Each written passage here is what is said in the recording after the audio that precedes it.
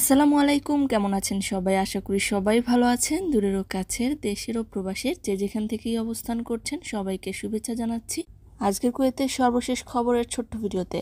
প্রথমেই জানিয়ে দিব কুয়েতের ফ্যামিলি ভিসা সম্পর্কিত সর্বশেষ আপডেট। কুয়েতের একটি স্থানীয় আরবি দৈনিক থেকে জানা গিয়েছে যে, স্বরাষ্ট্র মন্ত্রণালয় সূত্র প্রকাশ করেছে, ফ্যামিলি ভিসা বন্ধের ঘোষণা দেওয়ার পর থেকেই বেশ কিছু আবেদন এবং বেশ কিছু সিদ্ধান্ত দোদুল্যমান রয়েছে। যে ব্যাপারে কর্তৃপক্ষ বারবার সিদ্ধান্ত নিতে হচ্ছে।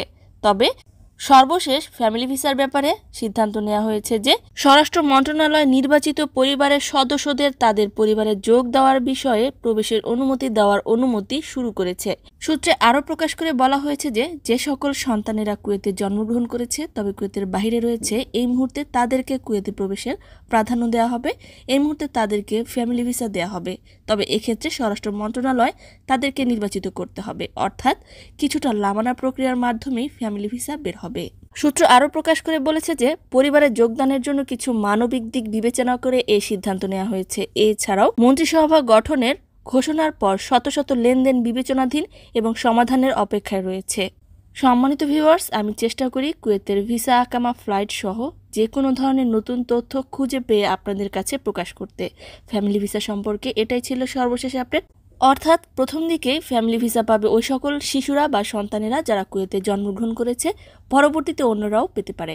আশা করি বুঝতে পেরেছেন। এছাড়াও ফ্যামিলি ভিসার বেতন সম্পর্কে কীভাবে ফ্যামিলি ভিসার জন্য আবেদন করবেন এই তথ্যগুলো নিয়ে পূর্বে ভিডিও দেওয়া রয়েছে, সেগুলো খুঁজে দেখে নিতে পারেন। জানিয়ে দিচ্ছি অন্যান্য কিছু খবর। কুয়েত সিকিউরিটি ফোর্স তাদের বিশেষ অভিযান চালিয়েছে আল সিদ্দিক আবদুল্লাহ আল মুবারক এবং রিগা এলাকায়।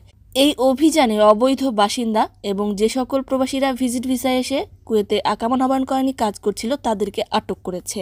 কে স্বরাষ্ট্র মন্ত্রণালয়ের agent major general Jamal Al Sayegh এবং traffic manager major general Yusuf Al Khada Hawali, Mubarak Al Kabeer গভর্নমেন্টের অধীনে যে সকল ড্রাইভিং লাইসেন্স রয়েছে, এগুলো তদারকি করছে। যদি কোনো লাইসেন্স মালিকের সাথে কোনো জবাবদিহিতার প্রয়োজন হয়, তবে আইনি পদ্ধতির সাথে সহজ জবাবদিহিতার প্রতিশ্রুতি দিয়েছেন। জানিয়ে দিচ্ছে আরও একটি সংবাদ। স্থানীয় পত্রিকা আরব টাইমসের একটি সূত্র অনুযায়ী জানা যায় যে কুয়েতের সরকারি বেসরকারি বিভিন্ন সেক্টরে প্রবাসী অপসারণ করে কুয়েতাইজেশন করার যে পদ্ধতি অবলম্বন করা হচ্ছিল তা তিন মাসের জন্য স্থগিত রেখেছে। এদিকে প্রবাসী অধ্যুষিত এলাকা আল মাহাবুলাতে ট্যাক্সি ক্যাবের বিরুদ্ধে ট্রাফিক ডিপার্টমেন্টের বিশেষ অভিযানে একশো তেতাল্লিশটি মামলা নথিভুক্ত করা হয়েছে এবং আবু হালিফা এলাকার সেতুর মোড়ে টহলরত পুলিশ সদস্যের একটি গাড়ি উল্টে যায়, তবে সেখানে কোনো ক্ষয়ক্ষতি হয়নি, বরং জনসাধারণ গিয়ে তাৎক্ষণিকভাবে একজন পুলিশ সদস্যকে উদ্ধার করেছে। সম্মানিত ভিউয়ার্স আজকের মতোই ছিল আপডেট পুরো ভিডিওটি দেখার জন্য। ধন্যবাদ। ভিডিওটি ভালো লাগলে লাইক কমেন্ট শেয়ার করবেন। ইউটিউব চ্যানেলে নতুন হয়ে থাকলে সাবস্ক্রাইব করবেন। ফেসবুক পেজে নতুন হয়ে থাকলে লাইক এবং ফলো করবেন যারা পূর্বেই করেছেন। সবাইকে ধন্যবাদ। আজকের মতো বিদায়।